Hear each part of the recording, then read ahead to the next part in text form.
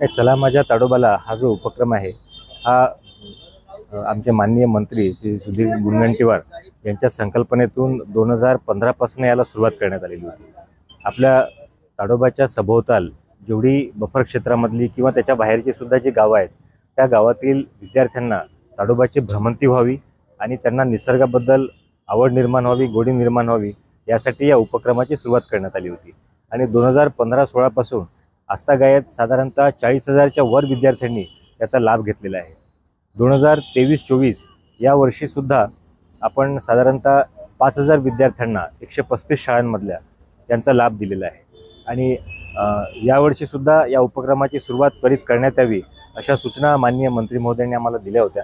आणि त्या अनुषंगाने आपण आजपासून या उपक्रमाची सुरुवात करत आहोत. यामध्ये आपण मूल तालुक्यातील फुलझरी काटवण या सर्व गावातील जे शालेय विद्यार्थी आहे त्यांच्यापासून आपण सुरुवात करत आहोत.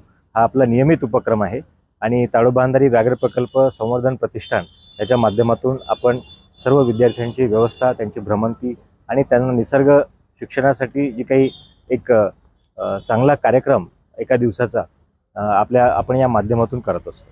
तर आजपासून या उपक्रमाला सुरुवात होत आहे आणि पुढील कालावधीमध्ये आपण बफर क्षेत्रामधील साधारणतः सर्व नव्वद गावांमधील जी विद्यार्थी आहे त्यांना याच्यामध्ये सहभागी करून त्यांना निसर्ग भ्रमंतीचा आपण एक आनंद आणि निसर्ग शिक्षणाचं एक जे माहिती आहे ते आपण त्यांच्यापर्यंत पोहोचवण्याचा प्रयत्न करणार आहोत.